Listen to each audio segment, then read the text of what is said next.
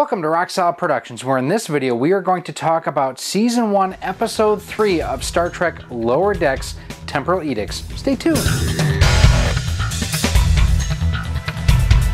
Hey everyone, Gary here with Rock Solid Productions. Now, before we get into this week's episode breakdown, I just want to take a second and say thank you for stopping by and checking out what we have going on here today, talking about Star Trek Lower Decks. I know, video game channel, don't generally talk about a whole lot else besides modern and retro video games, but I'm also a huge sci-fi fan, so I want to talk about Star Trek Lower Standards, at Lower Decks. Um, it's one of those things where I just enjoy talking about this type of thing in addition to the video game stuff. If you like what you see here, we have a whole playlist talking about all the Lower Decks videos and episodes that we've had to this point. I have a link for you to that right up there. And if you really like what you see here, do me a huge favor. Hit that thumbs up button, hit that subscribe button, and that bell notification. And it's more important than ever to do that because YouTube, they're not sending out emails anymore to let you know that there is a new video uploaded from anything from any creator, not just us, so any creator, it's important that you go ahead and do that. And what I want to know before we dive into this episode, ranking the different Star Trek shows that have been done out there from the original series, the animated series, Star Trek The Next Generation, Deep Space Nine, Voyager, Enterprise, Discovery, Picard, and now Lower Decks. What's your favorite? For me, it's gotta be Deep Space Nine. I love Captain Sisko, the best captain that we have had to date even better than Kirk. And Avery Brooks is just a marvelous actor. I love the way that he portrayed Ben Sisko. Um, and the relationship between him and Jake Cirroc I mean, it was just a great the two just had such a natural chemistry. I loved the way that they played off of each other. Anytime that we got a Jake and Ben episode was always really good. But let me know down in the comments, what's your favorite Star Trek series of all time?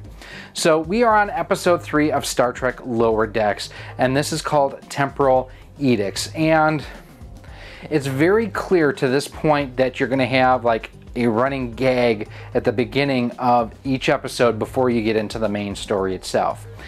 Last week it was the child kind of ripoff from Star Trek TNG where he had the, the orb that came in and gave Mariner her tricorder. Never saw any follow-up to that after it entered the captain. Where is it? Is it still in the captain? We don't know. Never discussed. In this episode, we get kind of the same thing where they're back in the bar talking in 10 Ford or their equivalent of 10 Ford. Actually, they're not even talking uh, Boimler is in there and he is playing the violin. It made me kind of think of Data a little bit there. But the first thing that I thought needed to be improved had to do with this intro scene, and it's when Mariner comes in with Tendi and they are playing rock music. And there's complaints about the bass going all over the ship and even into a Klingon ship that is nose to nose with the Cerritos. My problem isn't the fact that they, you know, sound doesn't travel through space, so the Klingons would not have heard it. They may have felt the sound waves, but they wouldn't have heard it. My problem is they're talking about, you know, the excess in bass. What is the meaning of this intense bass? Are you mocking me? She's not playing a bass guitar. That is a six string standard guitar. Um, very few people play six string basses as it is. You know, Les Claypool, one of the greatest basses of all time, plays a six-string fretless Carl Thompson. The thing sounds amazing. This is not a bass. Uh, come on, guys. I understand tongue is placed firmly in cheek, but if you're going to be talking about what's going on, it's not a bass. Will someone shut that up?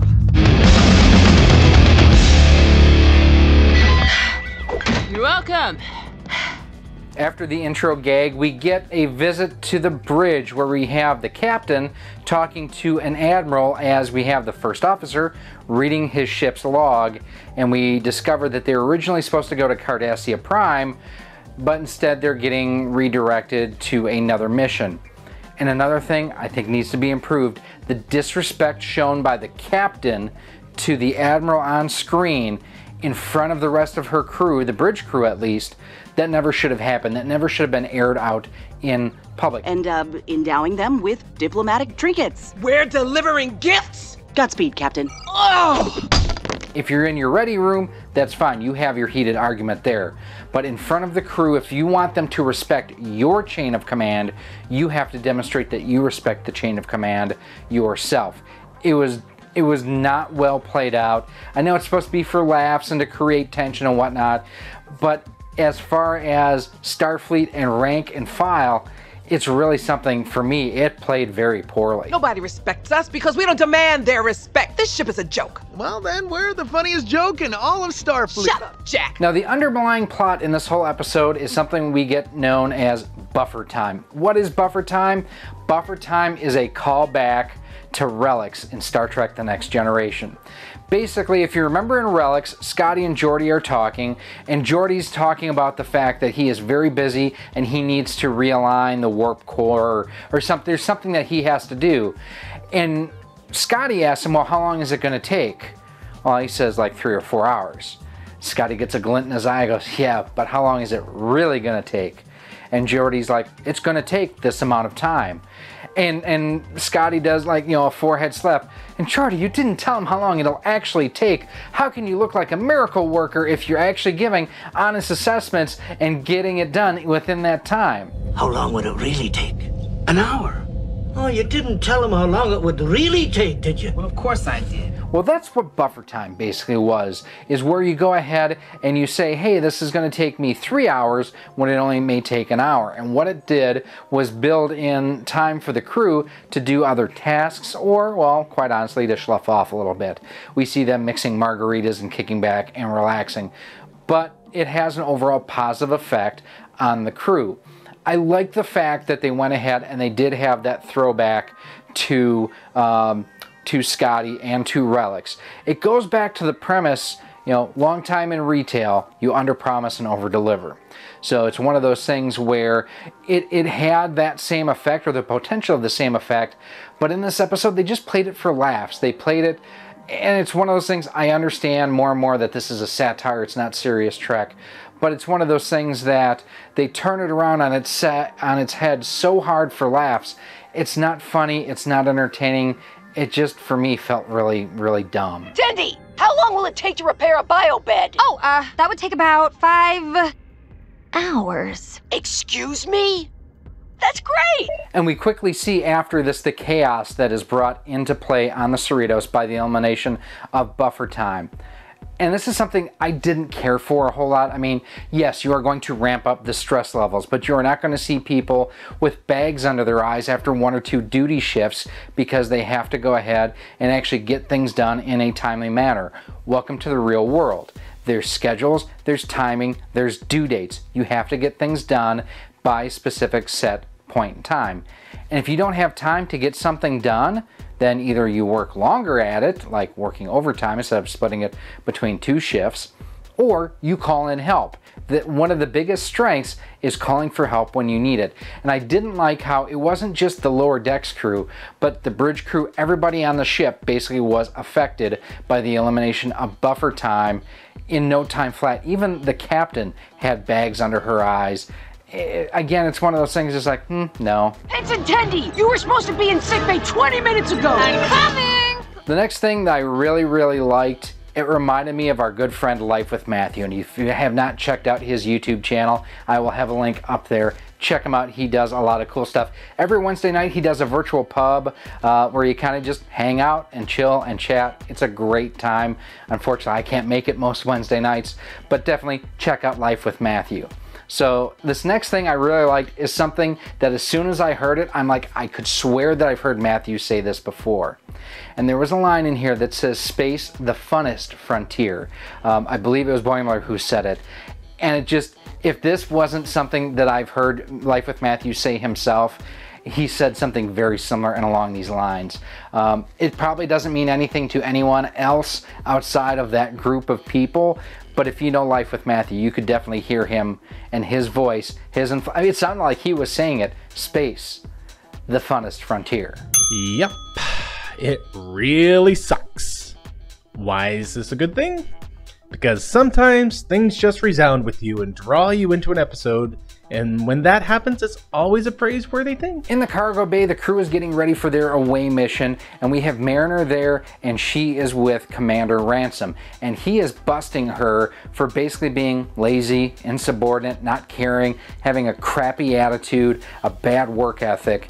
And he basically says that he's going to write her up for not rolling down her sleeves or, or, or put her on notice for not rolling down her sleeves. You know what? Good for him. Good for him being a strong leader. She is out of uniform when she does wear the uniform like that.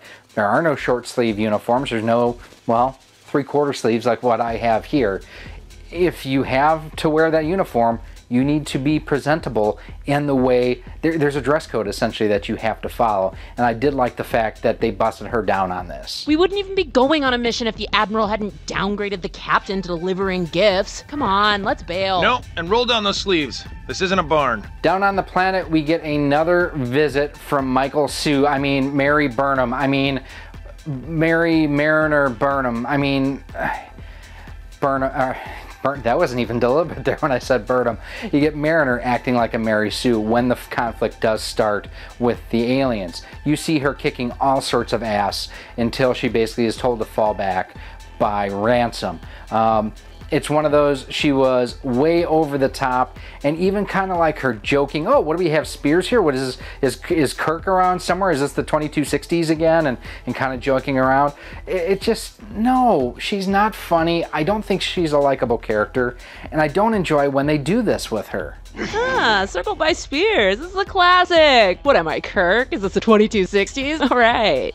Back on the ship, we get our next thing that I really enjoyed, and you have Tendi talking to Rutherford, and she is in the Jefferies tube, and she's frazzled and stressed out, which again, I, I, I didn't care for that happening so quickly here. But she asks, you know, I can't, or brings up the fact that she can't even remember what deck sickbay is on anymore. And Rutherford says, I think deck 26. And she asks, Is there a deck 26? For me, it's a callback to the fact that they can't or they never got the decks right or the number of decks right on the Enterprise E, specifically in First Contact. We hear that there is a number of different decks. I think they go from 24 to 26. How big is this ship? There are 24 decks. However, later in the movie, this crew member mentions deck 26. It's pretty bad, sir. It looks like the control deck's 26 up to 11. So it's one of those, I don't know that it was deliberate, but if it was, okay, I give them credit for going with that subtlety in there. Well played. And I honestly can't remember which deck sickbay is on. Uh, 26? Is that. Do we have that many? After the fight on the surface, there's an invasion force that is trying to take over the Cerritos. And we get another thing that just, it's, it's lame and it's dumb. When this boarding, boarding party hits the ship, you get orders from the captain across all com channels man your post. You need to go ahead and multitask. They can do it on the Enterprise. The more and more that they do the they do it on the Enterprise, it just it's overplayed. It's not funny. I think it's dumb. It is not well played. But instead of fighting back the invading force, they want or she wants the crew to go ahead and manage their tasks and fight back the invaders. It's not realistic again. Now, I understand it's supposed to be satire over the top, but it just it doesn't make logical sense. And again, it's one of those things just fell real flat. Repel all intruders, but do not use it as an excuse to stop doing what you are doing. I want to stay on track and on time. It's called multitasking, people. They do it on the Enterprise all the time. Back on the surface, and for some reason we have Mariner and we have Ransom together in a cell while the rest of the crew are being held hostage underneath a rock with crystals or something sticking out that, you know, they're going to be smashed with. And we get, we get again, we get Mariner saying BS. And not BS, but the full word. And again, on my feed, it was bleeped out. Here you can see it. You don't have it. I'm calling bullshit on your whole thing. It's not funny. It's not edgy. It doesn't add, uh, add anything to the story. Stop, CBS. Just stop. There is no need for it. And sadly, this may be the first instance of it in this episode, but it's not the last. If you win, we let you go. If you lose, you'll be dead. And your away team will be crushed by the adjudication, Geo. And while Mariner and Ransom are having their back and forth talking about, you know, how they got into this, each one trying to stand their own ground and defend their position, what I loved was you had Commander Ransom talking about the fact that this is our team. Mariner calls it his team and he corrects her and says, no, this is our team. And that's true. And the fact that she is one of those type of characters that it's about me, myself, and I, and she doesn't see that her actions put other people at risk, it's one of the things I found most distasteful and unlikable about her since the very beginning. With all due respect, sir, my friends aren't trapped in an alien prison. Your team is. That's not my team, it's our team. But I guess you don't think that way. Back on the ship, and you see Baimler walking around, Boimler, whatever his name is, the jackass comic relief white straight dude that's on here and you get him going through and he's got his pad and he's continuing on with this task even though there's this invasion force and he gets basically cornered at the end of a hallway. He's got, you know, an enemy to his left, an enemy to his right, and an enemy straight ahead, and they're threatening him with spears, and he realizes, I have a phaser. Don't move, human! We have you surrounded! Yeah, but I, I have a phaser. These guys are lightweights. This is what the red alert's about? I love this. I thought this was great. It's one of those that, you know, he could have run and, and hid and been scared, but he's like, to hell with this. Boom, boom, boom. Knocks them all out, takes care of them, and moves back onto his task. Um, I, I thought it was really well played as far as the pacing, the realization that, hey, we can fight back. We have the tools to be able to fight back. Why other officers of higher rank didn't think of this, why security didn't think of this, I don't know, but the fact that he thought of it, I actually did like. Captain, I just phasered some Galrakians. Back on the surface again, and we're talking between Ransom and Mariner, and we get another dropping of swears from Mariner, and it's the big one, the granddaddy of them all, the F bomb. We get a WTF out of her. Oh, what the? Oh, God! It isn't necessary. Again, it's not funny. It doesn't deliver a punchline. There's nothing here that's enjoyable about them doing this. And I, I just stop. Just stop. Stop. It is stuff like this why I will not have my kids watching this show. There's no need for it. Whereas I fell in love with Star Trek TV when I was in like fourth and fifth grade. My kids won't be watching it. My oldest daughter, she's almost 18.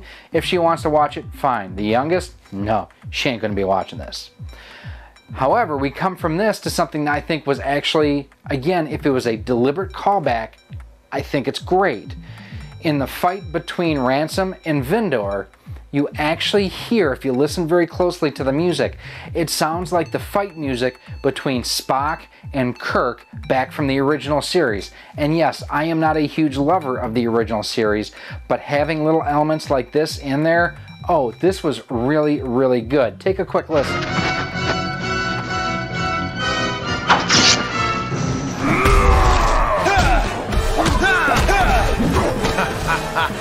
Do you see what I mean? Well, hear what I mean? Hopefully you do. The last thing I think that really needed to be improved is again, in addition to Mariner dropping F-bombs, we get the Doctor dropping one too. Congratulations, you look like a scratching post. Why? Why? Especially if you're gonna bleep it out, it doesn't move the story along, it's there for shock value, it is just not necessary. Please stop doing it. There is no reason for it. Finally, my final point here in this episode is something that I liked. We're going to leave it on a high spot, and it is a nod to the most important person in the history of the Federation. Miles Edward O'Brien. Perhaps the most important person in Starfleet history, Chief Miles O'Brien. It's the complete opposite of the trope that O'Brien must suffer. And I didn't think the animation looked a whole lot like Meaney. Um, I think they could have done better on that, but just having a call out to really what a wonderful character and person O'Brien was, I actually really, really liked. Now, I know normally in this I do five and five. I know I went over that, but this was one of those episodes where there were more than five things that I liked and more than five things that I thought needed to be improved. And it's what I like doing this series about is the fact that not everything is crap, not everything is great. Let's find that middle ground. I will say, even looking at it from the outside, if this were not a Star Trek show, if it was just generic sci-fi show B, I probably wouldn't enjoy it. I haven't enjoyed any of these three episodes. There have been little bits and pieces like in the last episode. Again, you can check that out right up there. I liked the B story with Rutherford. I thought he was a very likable character. I liked that quite a bit. But between the language and the dumb story plots, you know, I can laugh at the tropes and whatnot. That's fine. I have not laughed one. I didn't even break a smile during this episode, um, which is kind of sad for something that's supposed to be funny and a comedy. But these are just my opinions. Let me know what you think down below in the comment section. Uh, like I mentioned too at the beginning of this video, I want to know what is your favorite Star Trek TV show of all time. Just TV, not movies. We'll deal with movies in another episode. Now, if you do have any other comments or questions, as always, feel free to leave them down below in the comment section. You can also go ahead and send me an email at rocksolidmail at gmail.com. You can hit me up on Twitter at rocksolidstudios. We are on Facebook at facebook.com slash rocksolidproductions and Instagram at instagram.com slash rocksolidproductions. GK. Now, if you want to go ahead and support the channel, you can do so in a couple of different ways. First and foremost, head on over to our Patreon page at patreon.com slash rocksolid. For as little as a dollar a month, $12 a year, you get early access to all of our video content, exclusive content, and a whole lot more. You also get email notifications when there's a new post. And every video that we upload goes early to our Patreon subscribers. Same thing here, you can also become a channel member here on YouTube. That starts at $1.99 a month and goes up from there depending on how much you want to support us. You also do get early access to all of our content and exclusive content that way too. You can also go ahead, head on over to our Teespring store on screen right now, where we have t-shirts, sweatshirts, hoodies, masks, cell phone case, and brand new, we also have a new zippered hoodie as well. Pretty cool, just added that to the store the day that I am filming this here. And then finally, if you are looking to save on some awesome modern and retro gaming consoles, accessories, parts and pieces, do me a huge favor. Head on over to CastlemaniaGames.com, visit my friend Ryan's website. He has got some cool stuff up there from HD Retrovision cables to the RetroTINK to one-up cleaning cards to all sorts of different things from Hyperkin, from Retrobit, from Retro Fighters, all the best names in modern and retro gaming. Ryan has got them up on his site. And the cool thing there is he has a feature called Castle Cash, where the more you spend, the more you earn towards future purchases. And if you use promo code ROCKSOLID10, you save 10% off of most items on the website. And finally, like I mentioned at the beginning of this video, if you like what you see here and you want to see more, do me a huge favor. Hit that thumbs up button, hit that subscribe button and that bell notification. That way you are kept up to date when we are coming out with new content because, well, like I mentioned, they are going away or have gone away with email notifications. If you like this format, you can also go ahead and head on over to the Anti-Trekkers channel on screen right now. I did this same sort of thing with episode 3 through 10 of Star Trek Picard, and kind of interested to see what you think about that as well. Go ahead, give him a like, comment, share, and subscribe over there as well. Man, I really wish this would get better. I mean, it's just, it's so bad. I mean, Temporal Edicts, at least it doesn't have dick and fart jokes. I'm okay with that. But for me, the series is not getting better. My name is Gary. This has been Rock Productions and our look at Season 1, Episode 3 of Star Trek Lower Decks. I thank you for watching. I'll see you next week. Take care.